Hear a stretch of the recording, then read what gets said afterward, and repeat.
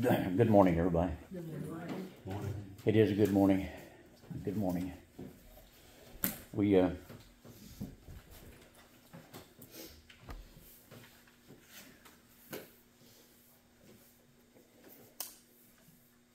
we just need to be here this morning. Sorry, Sister Nancy's back under the weather again. So sorry about that. Uh, and Brother, Brother Dan.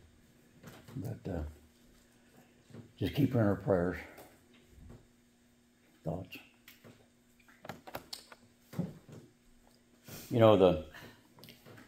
This has been a good week. Uh, in many many ways. We have trials through our week. We have trials sometimes through our weekends. We have trials from day to day. And the way we deal with those things is what it's all about. Uh, we can hang on to things, we can let them fester, we can just get clear out of sorts, you know, and sometimes that does happen to us. But I'm so thankful. Hungry, faint, and poor. We are hungry. We're faint, which means we, we don't have any strength. And we're poor. How are we poor? When we when we are really so rich, we can't hardly lay hold on it. When we go through these through times, the Lord tells us not to. I'll use more than words. Not to uh, be afraid of these times that comes in our lives when things are difficult, but look forward to them. Count it all joy, James says. And uh, these, I can just go to that scripture so many times. Count it all joy when you fall into diverse temptations, trials, hardships. Count it all joy. Why? Because the Lord will bring us through that time, and He will allow us to look back on that time, and we can rejoice. For if we were not going through those hard times, it seemed to me like we wouldn't even be able to rejoice in anything. The hard times causes us or allows us to come to a time of rejoicing in the Lord. And that's what this is all about. This is what being here this morning is all about. Let's turn to the book of Matthew. I'd like to just read some things here. And I don't know. Uh, I've read some of, of it off, just jumped around there, so I don't know if the Lord will lead anything. I don't. I don't know. We'll just read and, and see. But in the fifth chapter of Matthew, of course, the Beatitudes are in here, but I want to drop down to the very end of it, in the or not in the twelfth verse. I want to start out fifth chapter of Matthew in the twelfth verse. Well, back up to the eleventh verse. Could that? I don't know. It just touches me. Eleventh verse. Blessed are ye when men shall revile you and persecute you, and shall say all manner of evil against you falsely for my sake. In this 12th verse, rejoice. That's just what I was talking about. Rejoice and be exceeding glad exceeding glad. That just don't mean be happy. That exceeding is a, a great joy. Is what is is great. Is what it is. exceeding, not receding. Exceeding. For great is your reward in heaven. This is not talk about heaven up yonder. We know this. It's talking about the heavenly things on this earth, the kingdom on this earth that Jesus Christ set up for us, that we may have joy in these times in our lives. For great is your reward in, in, in heaven, for so persecuted they the prophets which were before you. Every one of those prophets were persecuted in ways we can't even imagine. Can't even imagine it. Then he goes on and tells us, Ye are the salt of the earth, the strength. Ye are the salt of the earth, but if the salt has lost his savor, if his salt has lost the strength, wherewith shall it be salted? If your salt If you waver, you're losing your strength. When we get weak, when we lose strength, what happens to us? Satan enters into our lives, brother. And he can do it so quickly and so, uh, he's so good at it. So we must always be on guard for these times that he enters in. He can tear us apart so quickly. And there it goes back to one of those things. When you go through these times, so the Lord will enter into our lives in a way that we He would not have had we not had these difficult times. But wherewith if if the salt shall have lost his savor, wherewith shall it be salted? It is therefore good for nothing. We can rejoice in these times, but to be cast out and be trodden among foot of men. This is what happens. But he tells us, Ye are the light of the world. And we, we need to remember that. We may not, we may be small in number, we may not think anybody pays any attention to us, but I guarantee, brethren, they do. They may not understand anything that they see in each one of us, but in some manner, we are the salt of the earth. We, we don't have to say a word. It's through our actions. And, and our actions is what it comes down to. Our actions are the salt of the earth. Our actions are. Because other people see us, they look at us. They, they, they judge us by our actions. And we're all, say, we're all guilty of these actions from time to time. But boy, if somebody sees those actions, I guarantee you they'll jump on it with both feet and they'll make sure everybody else knows about it. These ill times that we have. Ye are the light of the world.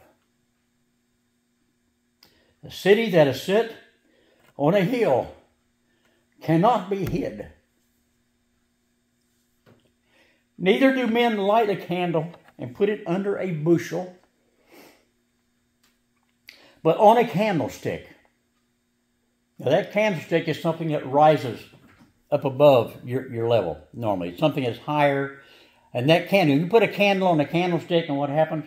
It lights the room, lights the area around it. If you put a candle under a bushel, we'll just say that, a bushel basket, turn that upside, put it over a candle, darkness remains.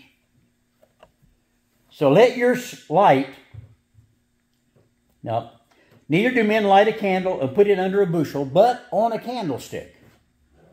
That simply means puts it out where people can see it the light, but not the darkness in us. They can't see that. Okay. And he giveth light unto all that are in the house. Let your light so shine before men that they may see your good work, works and glorify your Father which is in heaven. Not glorifying the man that comes forth with the good works, but that they might see Jesus they might see Jesus in our good work. Glorify your Father which is in heaven. Think not, Jesus says in the 17th verse, think not that I am come to destroy the law or the prophets. I am not come to destroy, but to fulfill that law. And to fulfill the promises of the prophets. And Jesus has done that in, in, in a complete way that we, we have a hard time understanding. He fulfilled every law, every jot and tittle. Verily, for verily I say unto you, till heaven and earth pass, one jot or one tittle shall in no wise pass from the law, till all be fulfilled. Jesus done that, accomplished that. Whosoever therefore shall break one of these least commandments and shall teach men so, he shall be called the least in the kingdom of heaven. But whosoever shall do and teach them, the same shall be called great in the kingdom of heaven. For I say unto you, that except your righteousness shall exceed the righteousness of the scribes and Pharisees, ye shall in no case enter into the kingdom of heaven. Through our own righteousness, we all know that we cannot enter in to the kingdom of heaven through our own righteousness. It's the righteousness of the shed blood of Jesus Christ allows us to enter into this kingdom. Ye have heard that it was said by them of old time, Thou shalt not kill. And whosoever shall kill shall be in danger of the judgment. But I say unto you, that whosoever is angry with his brother without a cause shall be in danger of the judgment.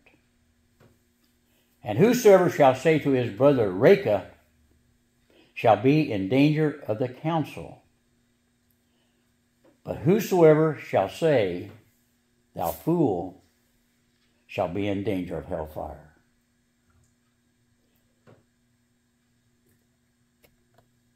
Whosoever shall say to his brother, Raca, or in my Bible, Raca is vain fellow, you vain fellow, shall say, Thou fool, shall be in danger of hell fire. That's not an eternal burning hell either. It is not. It does not exist, brother. Not in the way it's taught. But there is indeed a burning hell. So we don't ever want to forget that because it's real. But I'm sad sometimes that people are taught, and maybe I, am off base here, but I'm just sad that people are taught so much about this eternal burning fire that you're going to be cast down, that, and that even those who do not seem to be believers, I don't know. It's just, we are not to make that judgment. We are not to make that call. We are not to call our brother Raca. Raca, you vain fellow.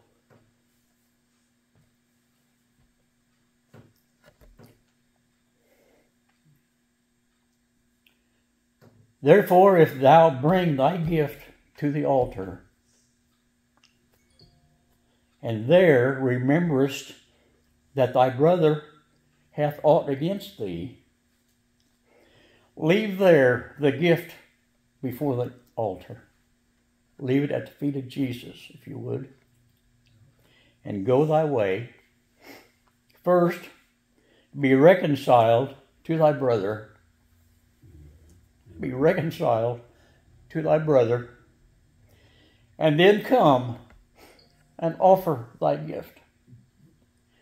Agree with thine adversary quickly, whilst thou art in the way with him, lest at any time the adversary, Satan, the adversary, deliver thee to the judge, and the judge deliver thee to the officer, and thou be cast into prison. These are plain words, brethren. And, in my mind this morning, we can't even deny these words, what they're saying. They're very plain to me. And this plainness comes through experiences that we have while walking with the Lord and while walking with the brethren. These are experiences are, are powerful and they're needed in their life. They're so important in our fellowship with Jesus Christ. Agree with thine adversary quickly, whilst thou art in the way with him, lest at any time the adversary deliver thee to the judge, and the judge deliver thee to the officer, and thou be cast into prison. Verily I say unto thee, thou shalt be no means, thou shalt by no means come out thence till thou hast paid the uttermost farthing we pay. And sometimes that uttermost farthing, it says one sixty fourth of a day's wage. Now I don't know why you put something like that in there, but it's a very nominal figure right here. The farthing, that's what it's describing, the farthing.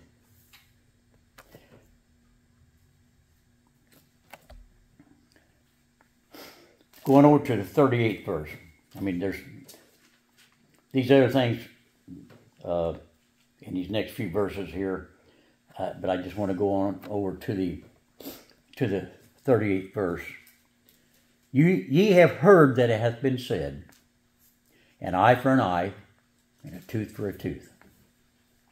But I say unto you that you resist not evil. You resist not evil. That's not evil people, evil men. It's things that happen in our life that is evil. Things happen in our life that are evil sometimes. But I say unto you that you resist not evil, but whosoever shall smite thee on thy right cheek, turn to him the other also. These are actions, evil things. And if any man will sue thee at the law and take away thy coat, let him have thy cloak also. And whosoever shall compel thee to go a mile, go with him twain, two. Give to him that asketh thee, and from him that would borrow of thee, turn not thou away. That's a precious one. These are all precious. You have heard it said, you have heard that hath been said, Thou shalt love thy neighbor and hate thine enemy. But I say, these are the words of Jesus Christ. You're all reading it. But I say unto you, I'm not saying this unto the world, I'm saying unto you, love your enemies, bless them that curse you, do good to them that hate you, this is totally contrary to our way of life. It's totally contrary to, to our desires. Our, the, the flesh desires to do these things. Hate your enemies. But here he says, I love your enemies. Bless them that curse you. Do good to them that hate you. And pray for them which despitefully use you and persecute you. That ye may be the children of your Father which is in heaven, for he maketh his sun to rise on the evil and on the good, and sendeth the rain on the just and the unjust. For if ye love them which love you, what reward have you? Do not even the publicans the same? And if ye salute your brethren only, what do ye more than others? Do not even the publicans so? Be ye therefore perfect, as your Father which is in heaven is perfect.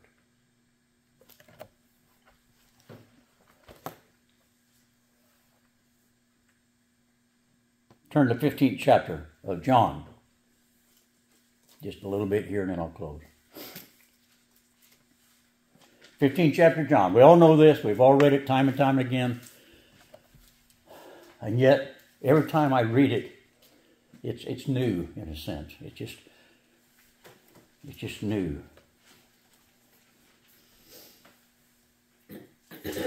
I am the true vine. First verse. 15th chapter of John. I am the true vine, and my Father is the husbandman. Every branch in me that beareth not fruit, he taketh away. And every branch that beareth fruit, he purgeth it, that it may bring forth more fruit. Now, this purging, I do believe, are the experiences that we go through from time to time. He purges us from the way we're walking in, if you could think of that way. And it's kind of hard to put a comparison on it, but every branch that bears fruit, he does, he cuts it back a little bit. Sometimes we have to be be stopped. Sometimes we have to be made slow down, slow bit, slow down a little bit, and see see what life is about you. See your brethren as they are, beautiful, loving. And sometimes we just have to be brought down to a point where we don't know which direction we need to go. But as we go through these experiences, this is what I'm relating to pertaining to is the experiences that are so difficult in our lives sometimes. But he purchaseth the good one that it may bring forth more fruit. We come to more of an understanding. Count it all joy when you fall in diverse temptations. When these things happen to us and we go through those things and look back at how Jesus brought us through that, we then bring forth more fruit than we had before we had that experience.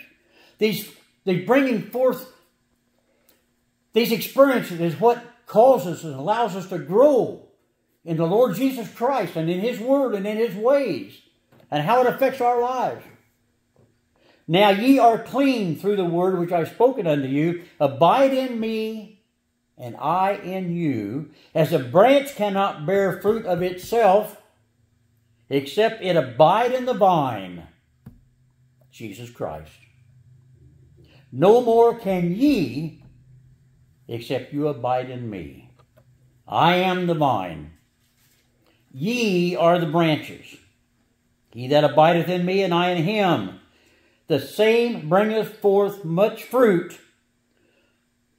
For without me, ye can do nothing. Without me, ye can do nothing. We can't bring forth good fruit without him. We can't do the good works without him. We cannot glorify God without him. If a man abide not in me, he is cast forth as a branch. If a man dwelleth not in me, with me, he is cast forth as a branch and is withered. And men gather them and cast them into the fire, and they are burned. If ye abide in me, and my words abide in you, ye shall ask what you will, and it shall be done unto you. It shall be done unto you. Herein is my Father glorified, that ye bear much fruit. So shall ye be my disciples. Bear much fruit. In so doing, we shall be the disciples, the followers of Jesus Christ. As the Father hath loved me, so have I loved you. Continue ye in my love. If ye keep my commandments, ye shall abide in my love, even as I have kept my Father's commandments and abide in his love. These things have I spoken unto you, that my joy might remain in you, and that your joy might be full. This is my commandment, that you love one another as I have loved you. God bless you.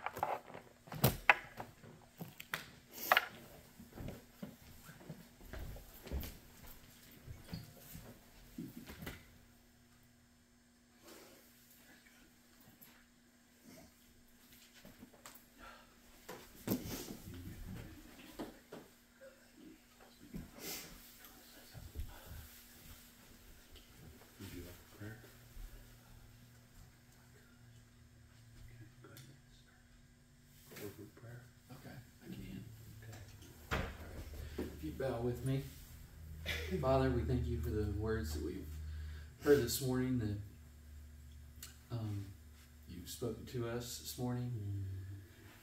These many truths that we know these things are the uh, keys to the kingdom and the way to live the, live our lives here. That our we might experience the kingdom with you, and these we just thank you for these words that you've spoken to us we ask you to help us to continue to think on these truths and the way to live our lives, and we ask you to help us to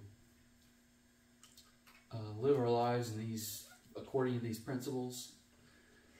That we know our lives will go well when we live our lives according to your the way you'd have us to live. So we ask, Father, that you'd help each and every one of us to apply these principles and walk by these principles in our lives. And we just thank you for these words that feel like you've already uh, blessed us through the preaching this morning, and we thank you so much for that. Thank you for the again. We just thank you for the words that Brother Gary has spoken to us, and ask that you would uh, continue to bless us during this meeting. Continue to be with us as we worship you and open the scriptures and we just thank you that you just seem to know the things that we're in need of and uh, we just thank you for the uh, blessing that you've given us today already. We thank you for being with us throughout this past week and the uh, just for being with us throughout this week and many the strength and guidance that you've given to us and we ask that you would continue to lead, guide, and direct us and ask you to go with us throughout this meeting. As we open the scriptures that you would open the uh, open our ears to hear these the words that you have us to hear. So again father we just thank you for all these things and again just thank you for your goodness to us toward us and ask that you would continue to lead guide and direct us. We ask that you would forgive us of our many sins and shortcomings. And we thank you father for everything. In jesus name amen. Amen.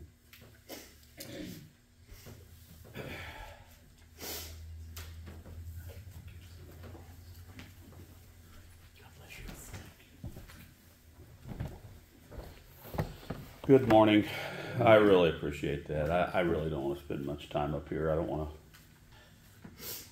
to take away from the preaching we just heard. That was good preaching this morning. I really appreciate that. We need to listen to that. We need to take that with us. Uh, yesterday, Brother Ed he preached about the foundation. The, he preached about the the uh,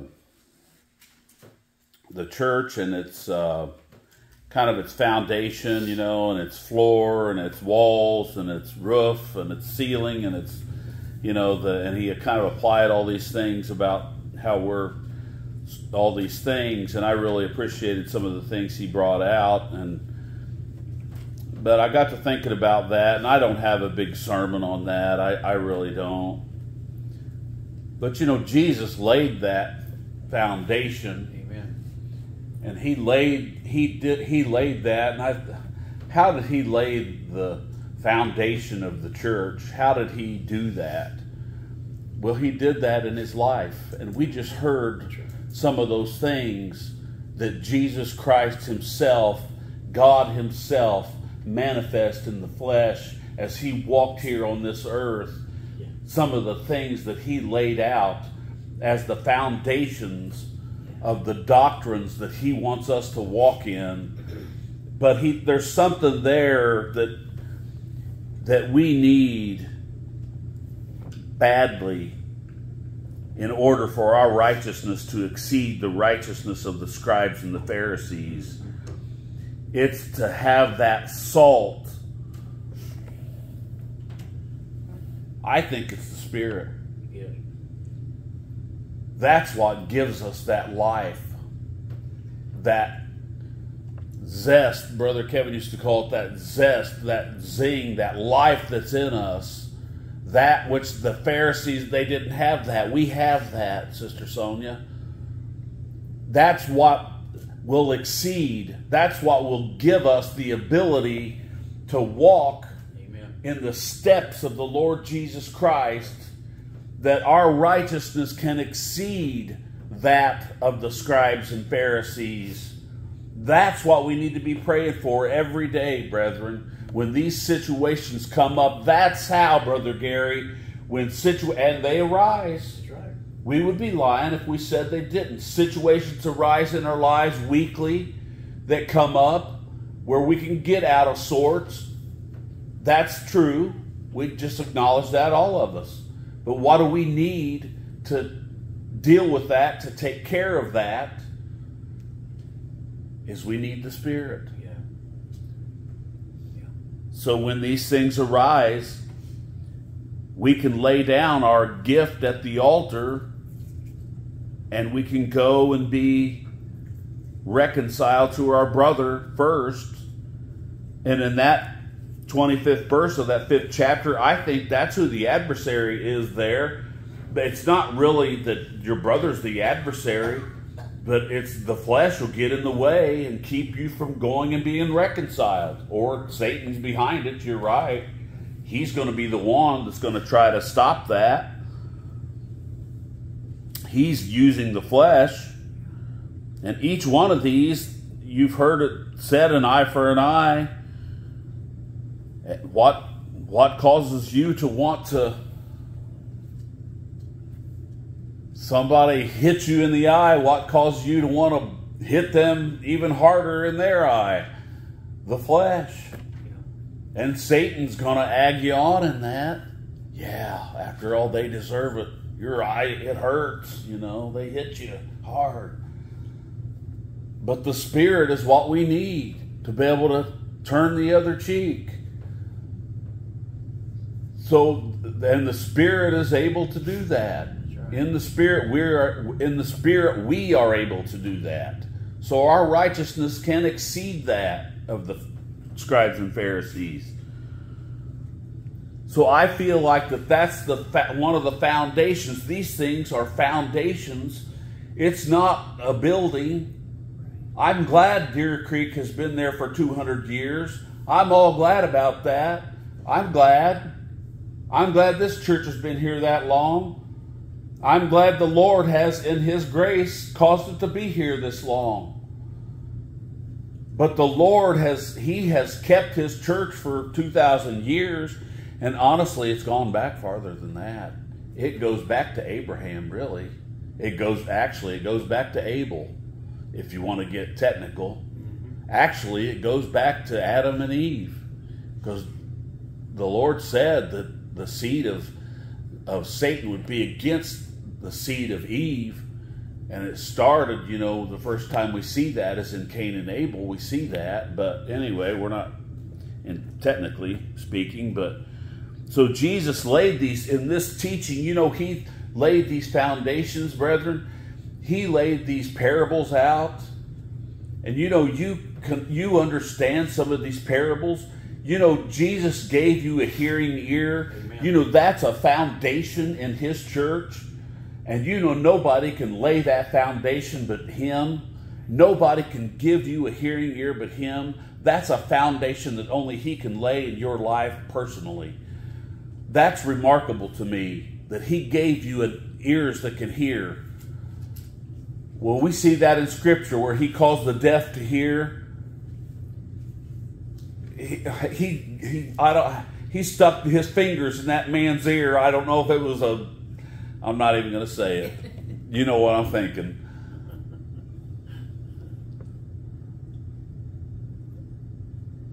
But he laid the foundations, and over in John, well, let me go over to Psalms, and I want to I want to quit here in just a second because I, I want you to lay hold of what Brother Gary spoke to us this morning. Um, Psalm 11,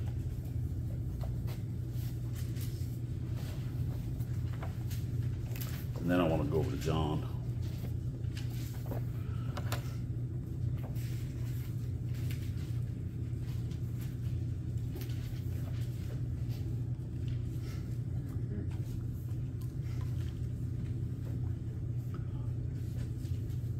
He said, In the Lord put I my trust. How say ye to my soul, Flee as a bird to your mountain? Now that sounds like somebody being persecuted to me, doesn't it? And somebody's telling them to flee, and their response is, I put my trust in the Lord. How say ye to my soul, Flee as a bird to your mountain? For lo, the wicked bend their bow, they make ready their arrow upon the string, that they may privily shoot at the upright in heart. If the foundations be destroyed, what can the righteous do? if the foundations be destroyed, what can the righteous do? I think he's saying, but the foundations aren't destroyed. If the foundations be destroyed, then what can the righteous do? The Lord is in his holy temple. The Lord's throne is in the heavens. His eyes behold, behold his eyelids try the children of men. This this person that's going through this experience, he realizes, like Brother Gary was saying, we go through these trials and these tribulations. And that's what this person is saying. The Lord is in his holy temple, the Lord's throne is in heaven. His eyes behold, the Lord knows what's going on, and his eyelids try the children of men. The Lord trieth the righteous, but the wicked and him that him that loveth violence, his soul hateth. Upon the wicked shall rain snares, fire and brimstone, and a horrible tempest. This shall be the portion of their cup. For the Lord, uh, for the righteous Lord loveth righteousness. His countenance doth behold the upright. And I also wonder if you can change that around a little bit and say, His count, His countenance doth the upright behold. Because Jesus said that.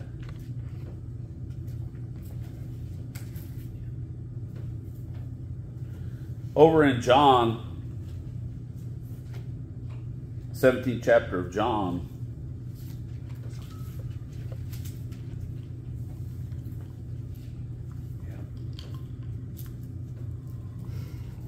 Now, this is a prayer of Jesus.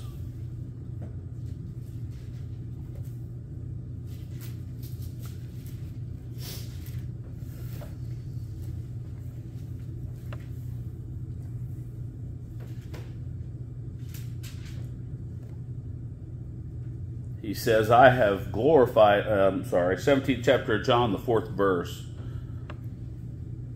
He says, I have glorified thee on the earth. I have finished the work which thou gavest me to do.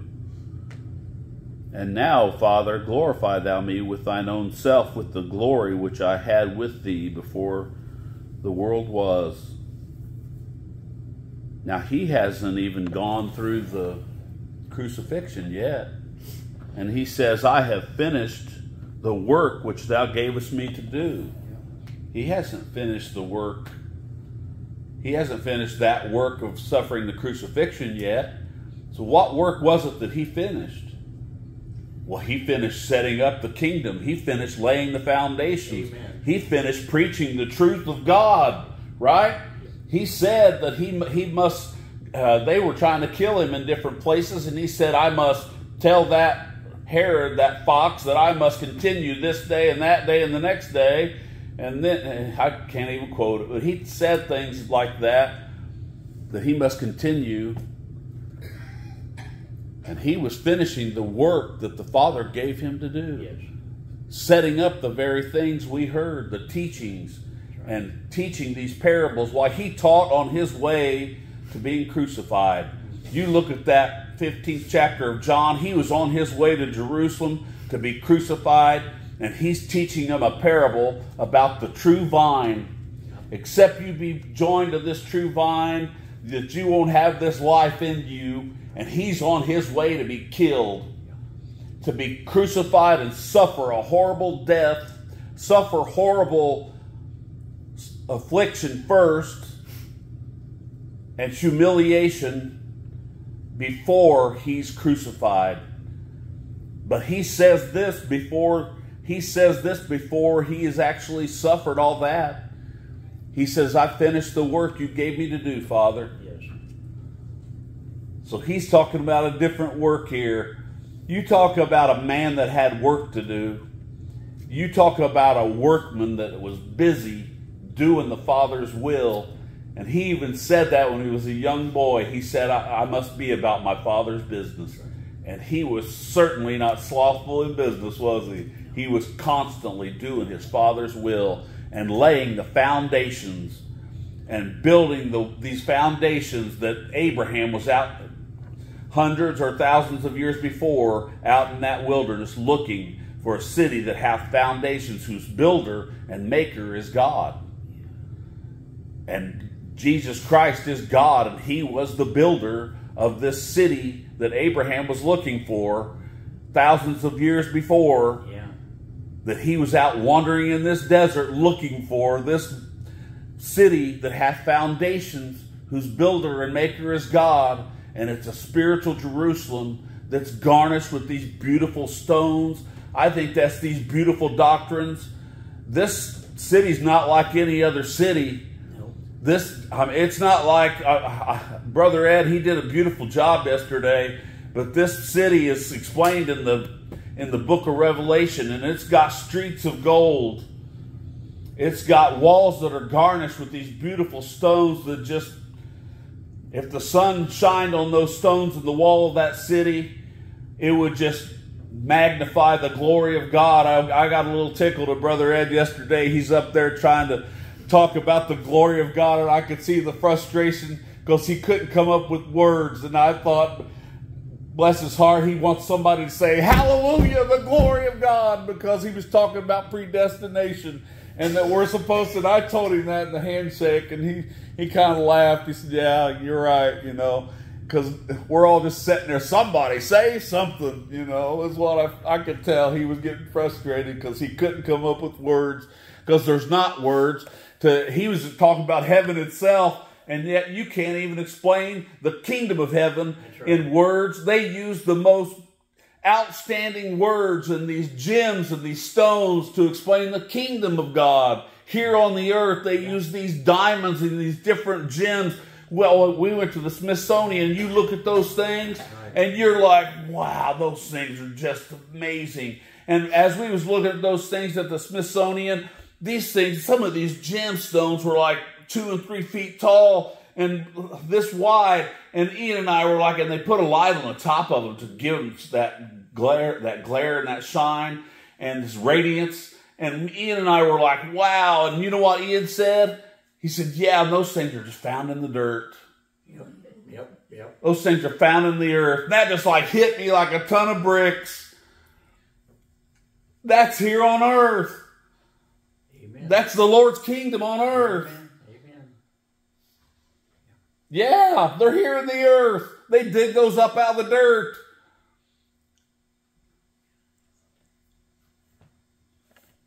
Isn't the Lord wise? Isn't He wise?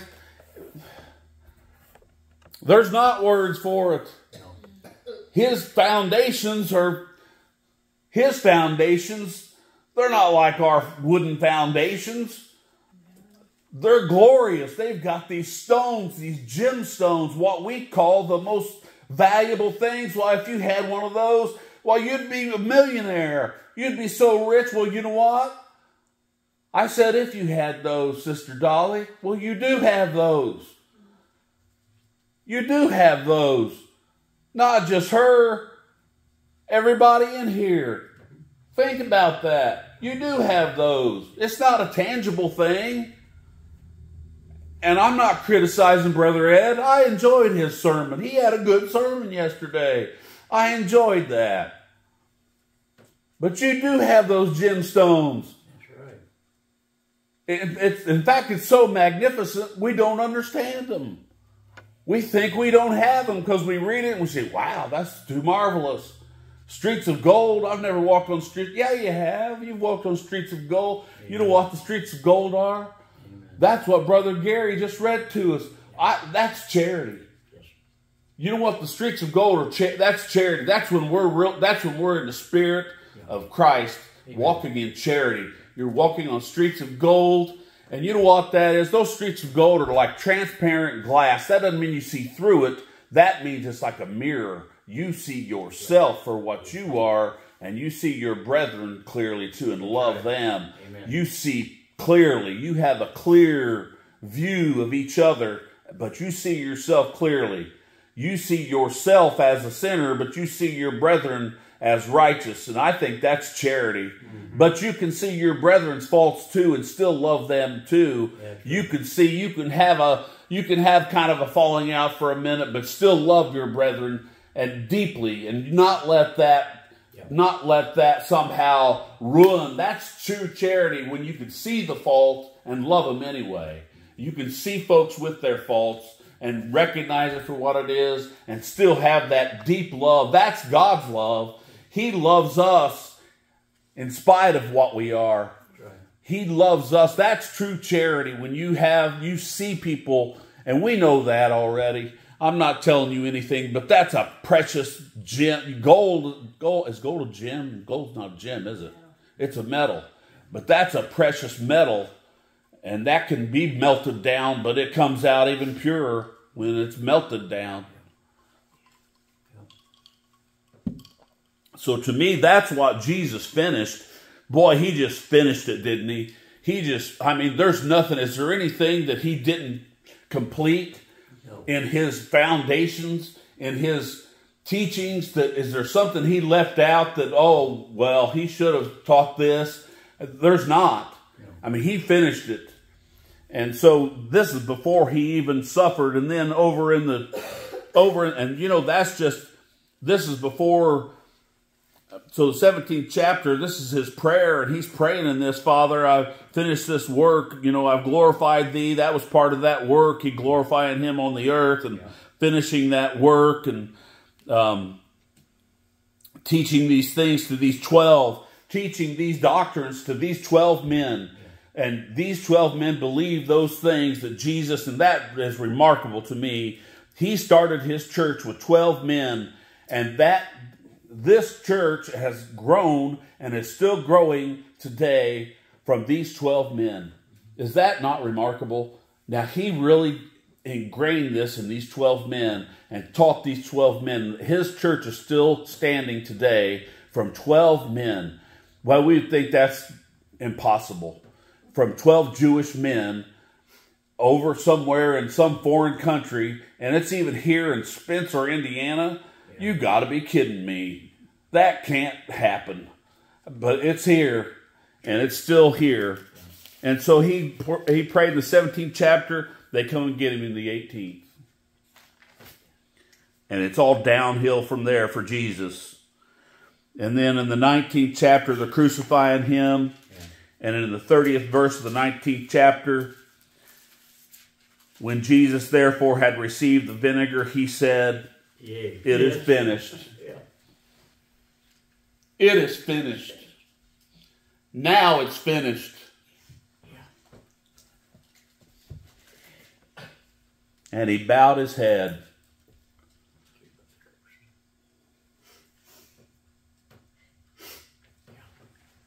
The Son of Man bowed his head and gave up the ghost. He died. God Himself manifest in the flesh, died on the cross. Then it was finished. It was finished right when it was supposed to be finished. Then his complete work was finished. After he had completed all his teaching, then he gave himself as a sacrifice for our sin then it was finished. So I thank you, Brother Gary, for what you brought. I thank the Lord for what He gave you this morning. Those are that's sound teaching, and you know that uh, one thing before we go.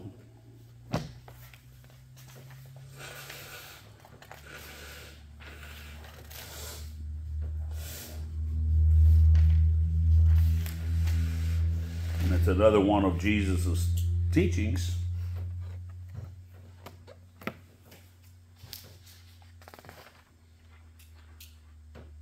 Jesus said this, Therefore, whosoever heareth these sayings of mine and doeth them, I will liken him unto a wise man which built his house upon a rock.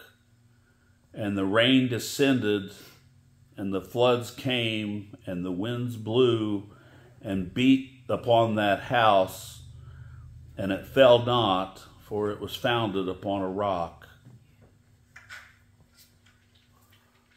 And the and you know what the and no matter what the rains are going to descend and the floods are going to come and the winds are going to blow and they're going to beat upon our house, whether we build our house upon that rock or not, that's going to happen. That's just life in the church, right? It's going to happen to every one of us at some point. So it's up to us whether we build our house upon these teachings, we fashion our life after these things or not. And I know we often fail. I know that. But I know I do.